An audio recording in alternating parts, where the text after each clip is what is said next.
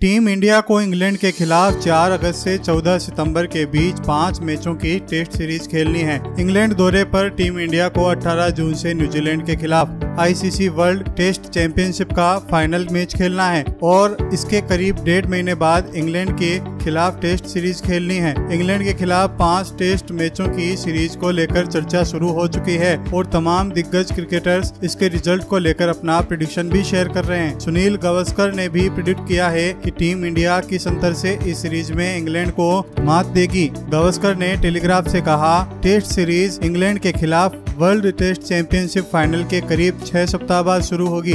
ऐसे में team India पर इसके रिज़ल्ट का बहुत कम या फिर बिल्कुल भी असर नहीं होगा। सीरीज़ अगस्त सितंबर में खेली जाएगी तो भारत इस सीरीज़ को चार ज़ीरो से जीतेगा। इस साल की शुरुआत में भारत में पिच को लेकर रोने वाला इंग्लैंड हो सकता है।